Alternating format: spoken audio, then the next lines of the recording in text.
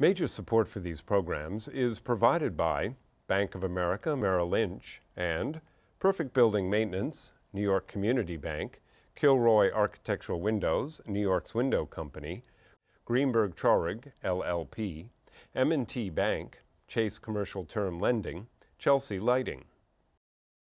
Additional support is provided by Briarwood Organization, Bruce Mosler, Capital One Bank, Cassidy Turley, C.B. Richard Ellis, Cushman and Wakefield, Dime Savings Bank of Williamsburg, Douglaston Development, DDG Partners, Hal Fettner, Durst Fettner Residential, Friedman LLP, Accountants and Advisors, Flushing Bank, Gemini Real Estate Advisors LLC, Genova Burns, Giantomasi and Webster, Investors Bank, James D. Kuhn Real Estate Center at Syracuse University, James Orphanides, Centurion Holdings, Korman Communities, Madison Realty Capital, Margolin, Winer and Evens, LLP, Certified Public Accountants and Business Advisors, Massey Knakal Realty Services, Meridian Capital Group, Newmark Knight Frank, Sterling and Sterling, SJP Properties,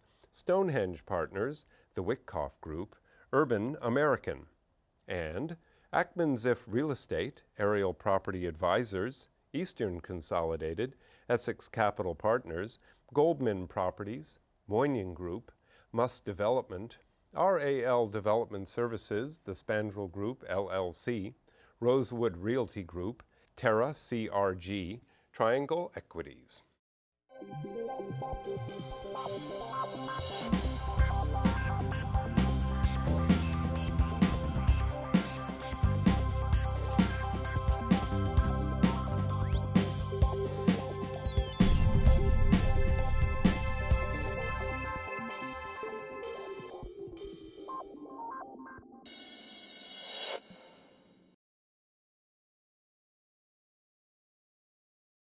They call it Jersey City.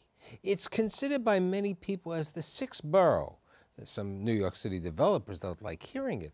There's lots of things happening on in Jersey City. So today I've assembled uh, four very bright, hopefully bright, intelligent guys who are going to tell us what's happening in Jersey City. My guests they include Elnardo Webster, who is a partner at Genova Burns, Giantomasi, and Webster.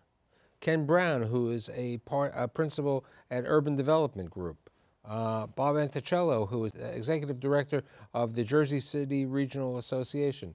And last but not least, George Vallone, who's the president of Hoboken Brownstone, but he's been in years in Jersey City.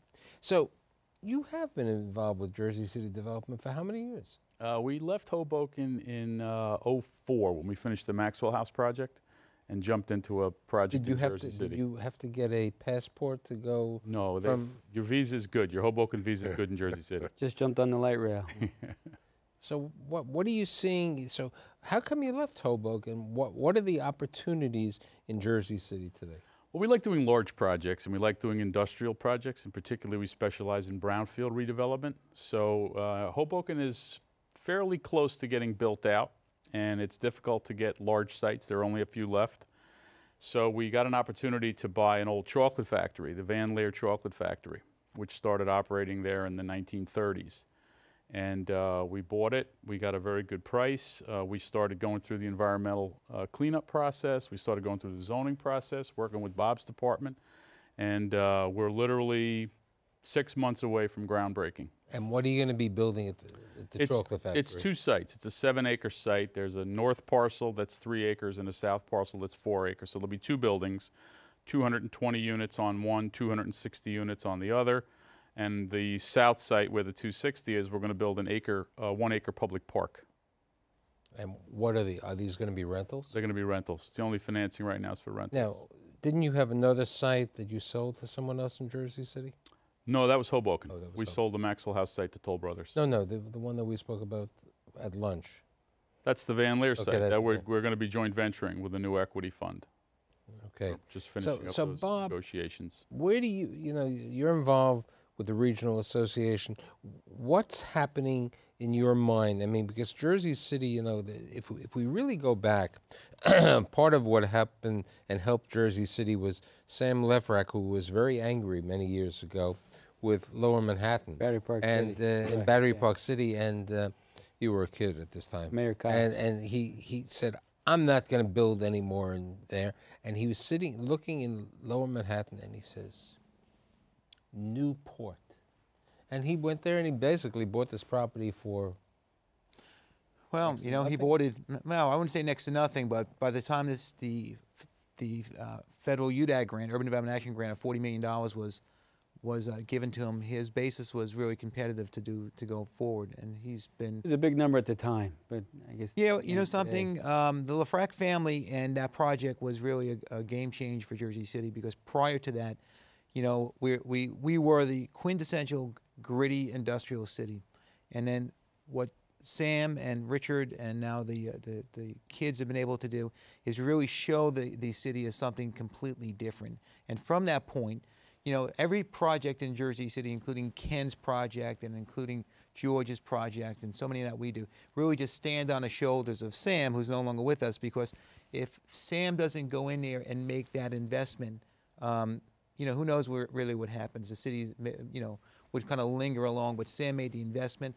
And just to kind of give you an idea, uh, they were they were designated developers in 1980. And since 1980, they constructed 4,700 housing units, 1.2 million square feet regional mall, uh, an additional uh, 700,000 square feet of retail, 4.5 million square feet of Class A office space. Um, they have somewhere close to, um, is it 800 hotel rooms, 15,000 parking spots, and a 215. So should we Slip change? You know, the same way that Sam Lefrak went to Queens and they, they called the Lefrak City. Maybe we should change the name of Jersey City to Jersey Lefrak City. I oh, mean, I mean, listening to the Well, development. Frac City West. Yeah, well, I think I think if you if you really look at what's come up around it, it really is a new city, and I mean, I think that that was a Because part of the issue that the city had was that I think Sam did not want the connotation of Jersey City to be kind of dragging what he felt was Newport. Then and the politics entered the equation. But since then, you know, that's one of those early public-private partnerships um, that that worked and it was trans and really it was transformational for the city of Jersey. But City. it, you know, with what George just said, you're talking about public-private partnerships is what you're doing together yourselves. Yeah. Working over there on a brownfield. Now, you you grew up in New Jersey. You went to uh, high school in Jersey City. went to St. Peter's Prep in Jersey City. Yes. St. Peter's Prep in Jersey City.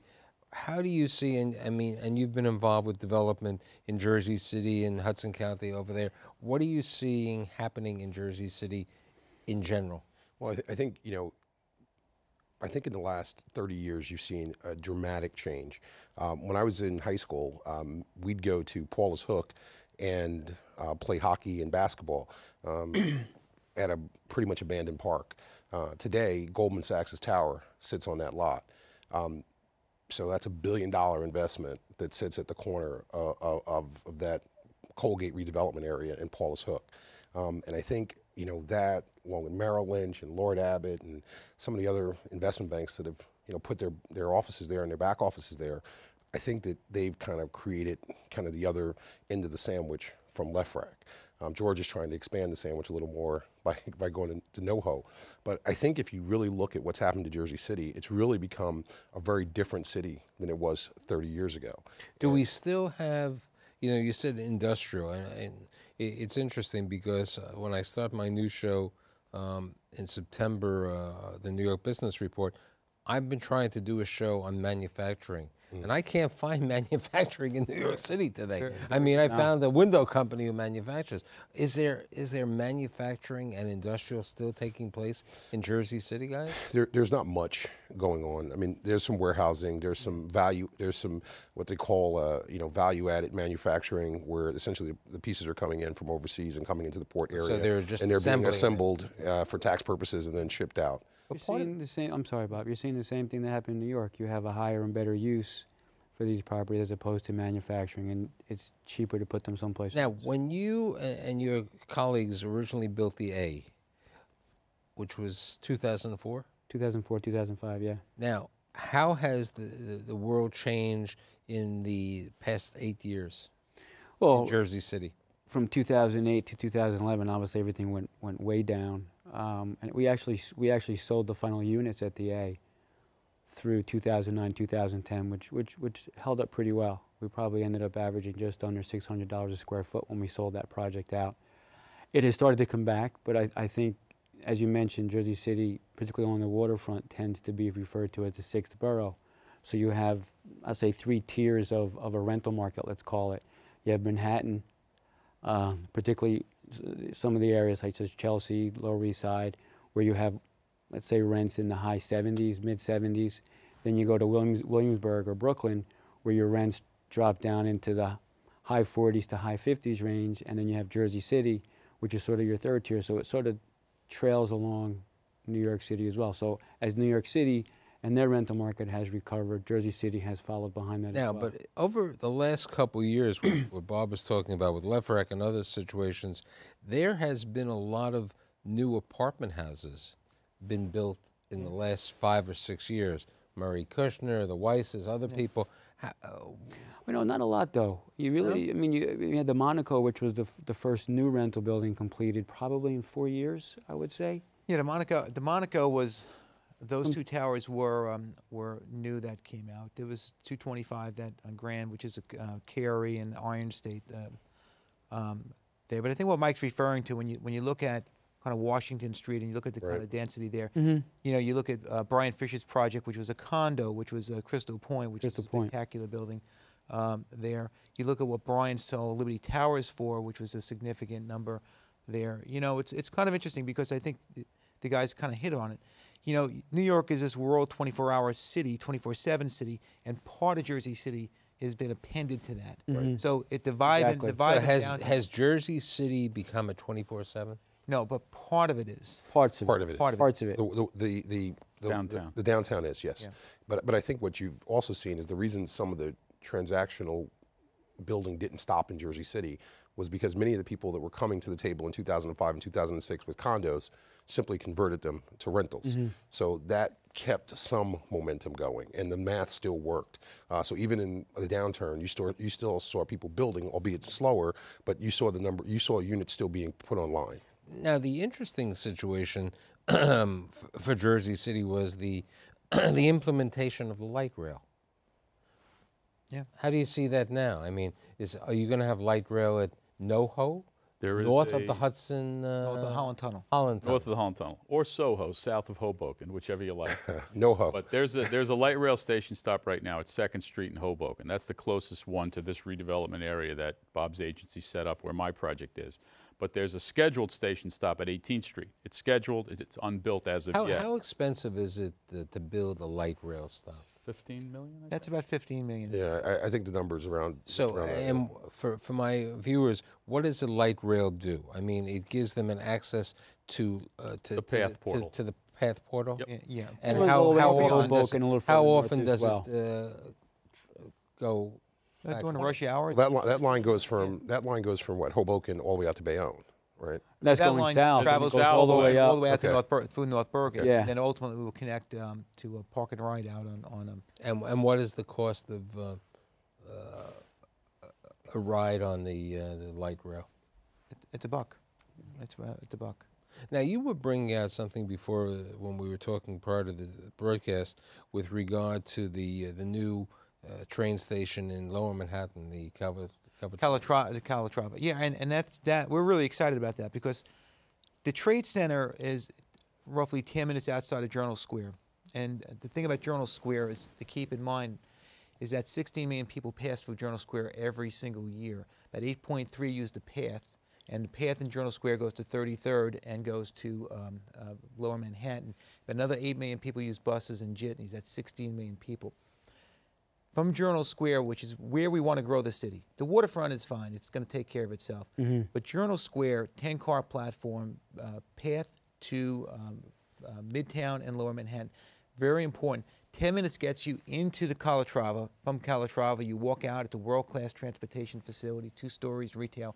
Through uh, essentially a retail tunnel to Fulton Street, get you anywhere in New York City. So it's one of these seamless two-seat commutes. Whereas in the old days, You went down to the trade center, you Sure. took the escalator up, it took you a while to, to do it.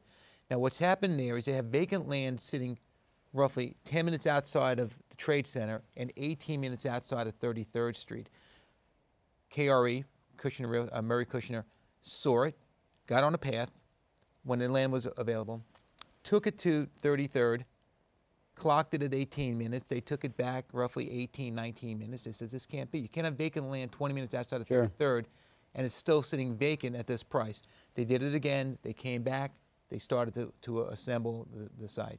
The site's now fully assembled. It's going for, for um, um, site plan in the next 60 days. We're now working on a financial model, and that works, which would, will, will include tax increment financing. And we're getting, we're very excited because we think Murray's going to be the first guy to actually go vertical in Journal Square. And by the way, on the core, right on the path, the FAR is a 28. So, you know, those FARs are significant FARs. We A lot of density. A lot of density. So how high on- could how high could it build? well, easily 40, uh, 40 to 45 stories, 50 stories if he came to us and wanted to go 60. There really, there's no limit to what he could build there because the path station is so robust. And, and, and there's discussions actually right now with the Port Authority to revamp essentially, Yeah. you know, that path station to really. Oh, it's a major transportation hub. now, what are you planning to build in your site? It's going to be a rental building as well, 35 stories. And how where physically where is that in Jersey City? We're probably equidistant between Exchange Place and Newport on Washington Boulevard. So we're, we're, we're considered on the So, water. so how do you so you're considered on the water? yes. And how do you get to the to the train station? It's uh, to the Newport train station. It's a, a four or five block walk, five blocks. It, it, it's a seven minute walk. Well, there's a light rail stop right there as well. Now Newport train station is different than the Journal Square Yes. train station. Journal Square is is one is one stop further out west from So from you're, Newport. you're, you're really referring to the Pavonia. yes. Pavonia. Yeah, it's So- Correct. he's Yeah, a New Yorker. so I, so, yeah, so what so what I'm hearing is you know the residential market because of the the, the difference which we didn't bring up but we brought up before the show is substantially less expensive for someone to live in mm-hmm. Jersey that's City correct, yeah. than Absolutely. the city. Well, what kind of rents are we talking about, George and I think we're talking anywhere from half to 60% of the rents Well, in Manhattan. Just looking at, at, at numbers, you're certain parts of Manhattan, you're starting at seventy-five dollars per foot, going as high as A hundred. 90, 95, 100. Right. In Jersey City, the Monaco, for instance, I, I want to, and they're getting the highest rents, I think, in Jersey City. They're probably in the 40 to $44 range. Yep. So it, it's, it's significantly less. My project will be in the 30 to $34 foot range Right. because I'm stick-built, four-story. We can deliver that at a lower price. But you know, the, what, what you're really hearing here, and, and from Bob and from the other guys talking about Jersey City, it's, it's an example of what makes Jersey City such a special place. It's, there's really two things that make Jersey City special. One is obvious, the other not so obvious. The obvious one is its location and its infrastructure with the path system. But the one that's not so obvious is what you hear when you hear Bob and, and these guys talking about it. And it's the willingness of the city to work with developers. It's a very developer friendly place. You've got expert people running the redevelopment agency, the, the planning department. They've got, they'll work with you, they'll design zoning to fit a, a plan so that you go in an, in an as of right zoning application. You've got a mayor and council that listens to their paid experts. So many times you have, pl- you have paid experts that recommend certain things and then the politicians do what, whatever the heck they want to Sure. do. That's Very not the pro- case in very Jersey pro-development. City. No, we, we were talking. cohesive. The, the week before, I did a show on New York City development. I had a Jersey, New Jersey developer, I Carl Goldberg, and we we were talking about you know it's very difficult to develop in New York City residential because there are there are limited or no tax abatements or tax incentives. Oh, without a tax I, I'm, I'm in hearing over here, you have lots of incentives. Yes. Uh, now you have an urban tax credit, which has been available to, for residential rental buildings in the past. I mean, I may not, there may not be much left over here. There have been major tax, in lieu of tax uh, programs in Jersey City. If we didn't have that, do you think any of these major things would take place today? Well, it would devalue the land. Yeah, it has to come out of one of the variables, and that would be the land, Yeah. because your, your cost of construction isn't going to change based on whether you get those Now, incentives now or he- not. here's a question: you you have offices in Newark and Jersey City. What is the office environment in Jersey City compared to the office environment in other parts, in Newark and other parts of the state? Um, I think the office market in Jersey City is, is relatively robust compared to the rest of the state. I mean, if you look at what's happening in Morris County, you look at what's happening in uh, Newark, um, you're, you have uh, much higher rates of vacancy. Oh, the suburban office market Yeah. in, in the suburbs of New Jersey is, is, is getting crushed right now. Now, I, I do know that you know Pearson uh, is relocating. I believe they're relocating to Hoboken, but they, I believe they looked at Jersey City. Um, uh, is Jersey City still getting a lot of the New York City offices? You know, companies who, who are thinking of They- they at- relocating. uh, Jersey City gets a look at everything, yeah, and whether it's Mack-Cali or the Lefrak family, they, g- they get a look at it. And then Jersey City is also unique in the sense that if you need a, uh, um, a, a 40,000 square foot floor, you can't go to Newark, you can't go to uh, Princeton, you're going to go to Jersey City where you can get a trading floor for 40,000 uh, feet.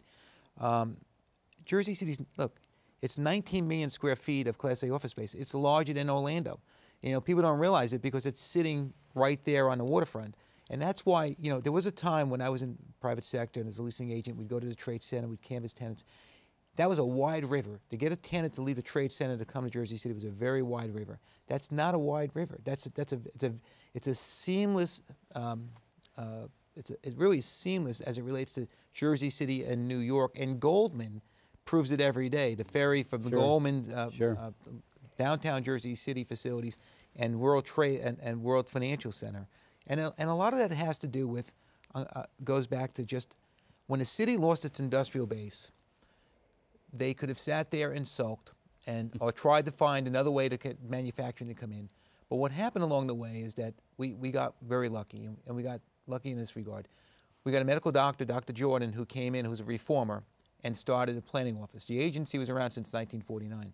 Um, and they started to look at these vast kind of industrial tracts of land and how we can best put them to use. And they came, and, and from that, you had Newport, you have the, the area where you have um, uh, Harborside, and Colgate had such a, a, a, a deep history in Jersey City.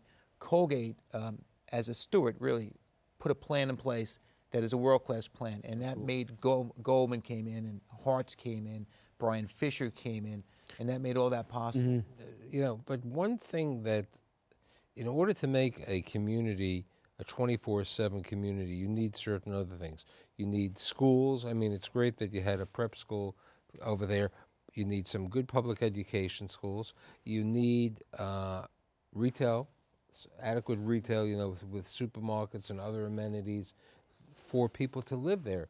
Uh, you know, it's nice to have young people move in, but you need some older people to move in to, to remain in there. What's happening with that is the one, to one thing. I mean, the, the high school, St. Peter's Prep, and even St. Anthony's. I mean, two, St. Peter's Prep especially is one of the best high schools in northern New Jersey. The one problem you have, and you have the same problem in Brooklyn, you'll have couples that will live in Jersey City and even start a family there. But once their kids hit a certain age, That's that's what I'm then, bringing up. then they'll, I, they'll, I- they'll I- start I- to I go. think I think you're seeing um, a lot of pressure uh, being placed locally, uh, politically, on the Board of Education Right.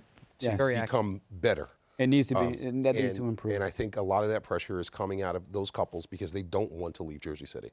Um, and so uh, it's starting at PTAs and, and, and local kind of you know citizen groups uh, in the downtown area. I mean, those schools that are the downtown schools are very different than the schools that are you know in the rest Very of the, good. And rest of the McNair, by the way, McNair, which is the public high school, is the Right. best high school in the state. Now, I believe uh, I, it may have been five, six years ago. I, I think I had Jamie Lefrak on my show, and I also know I had David Barry on my show, and I believe both of them, who are Lefrak is Newport and the other part, and Barry, you know, at that time they were the applied company in Ryanstone. They both said to me that in order to get people to live there, they were giving away the charter schools or the schools for free. They were building. they them- build a, they were building a charter they- they- school. They, Well, were building Sure. these institutions. Well, they, what what they what they did was they allowed charter schools to have a very low rent in some of the properties that they had um, control over. And you've seen a proliferation of charter schools. You've seen a proliferation of Montessori, and you know, and and now some of the private schools are starting to grow. Some of the parochial schools are starting to be repopulated. So you're seeing educational alternatives being sought out by by by, by folks who are trying to stay in Jersey City. And I think in the next 20 years. next 25 years, definitely, you're going to see that education in Jersey City is not a reason to leave anymore. And now, what about retail? I mean, you, you know, it's I, I've said this about Long Island City in my show. Long Island City is another redevelopment in certain aspects similar to Jersey City. It's a good, it's, it's a good comp to Jersey Uh, it's, City. It's a good comp. The negative that Long Island City has had is they've they've never had any you know supermarket. They don't have a supermarket. They still don't have a supermarket. And the the other uh, situation that they ha- didn't have was they hadn't didn't have enough restaurants. You know the adequacy. That's actually Jersey City's. That's not the. The supermarkets in Jersey City are actually focused on the waterfront because what happened is that was where you were able to, to build 45, 50, 70,000 square feet. So supermarkets were rich. We don't have a, a, a um, uh, look. If we have the space, and we do in NoHo, for example, Whole Foods will come in. Uh, Fairway was interested in. That's the next on- step on- to get those types of retailers. 18. That's But definitely the keep next in mind, step. it's. But it's you have I Pathmark, you have Shop, Shop and Shop. Well, you have Stop and A&P. Shop, you have A and P. So So you- ShopRite right across the street from, from the You A, got plenty which of is uh, shopping opportunities. one of the highest grossing ShopRites in the state. If you look at Newport, though, a third of the shoppers in Newport come from New York City. So I mean, it kind of kind of goes both ways, where people are coming out of lo- uh, Manhattan and shopping. My, my, my joke when I used to do you know s- shows on the state of New Jersey was I said you know the, the reason that the retail survives in New New Jersey is that there were no sales tax on clothing. So many of the people, which is true, they'd come to New Jersey to buy it. And I believe Jersey City, in certain sections of Jersey the City, enterprise zone is the the enterprise enterprise zone, zone, we the- have the- sales the tax. Three and a half taxes, percent. the taxes is three and a half percent. So when you're at a three and a half percent tax as compared to an eight and eight and three quarters percent tax, it's a Makes a big, big difference. difference. Yeah. You know, it's a substantial. You know, you know, Mike, one thing I wanted to, we suffered downtown because we didn't have the density. When uh, Columbus Towers were, were built and, and Cary built uh, Grove Point, it was interesting. On, on my way here, there was 12, I counted 12, sign, uh, 12 tents set up on the Grove Street Plaza, the piazza on, on Grove Street, from the downtown SID, Special Improvement District.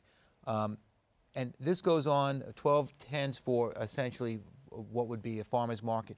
There's a, there are all these workarounds that are now becoming uh, permanent uh, there. And it's amazing on how vibrant downtown has, has gotten and how diverse downtown has, has gotten. Um, you know, between there's a hipster community, there, there are young professionals. It's a very diverse group, and they add this kind of little piece, like a jambalaya, to the, and, and the pot has become very, very rich. What about the hospitality, the hotel industry? All I know you have a couple on the waterfront. I mean, are there are there other hotels being built in Jersey City? Yeah, Exchange Place will have a, um, a, a new hotel, um, and uh, we're working in, in Liberty Harbor North with a, um, a hotel group. Hotels, the problem with hotels is financing 50 to 100 million dollar hotels. But I think ultimately what what will happen is the hospitality industry is, is gonna- Good, good, good, you're good gonna- question that relating, and, and I think anyone want to bring it up with regard to how easy are the are the are the banks when it comes to financing in Jersey City? Um, I think that the banks are looking for uh, are looking for projects that uh, pencil out. I mean, and I think the rental projects pencil out. Um, I think you're starting to see more and more retail uh, kicking the tires, and, and they're starting to come in. Um, I haven't heard a bank say that we have a problem with the financing. I mean, the, the issue with Jersey City is can you make a deal on the land? I, I wish we could talk more, and maybe in the new season we will. But I think um, I've got a better idea, and my guests and my viewers will have a good idea on what's happening in Jersey City. I'd like to thank uh, Elnardo, um, Ken, uh, Bob, and George, and I'll see you next week.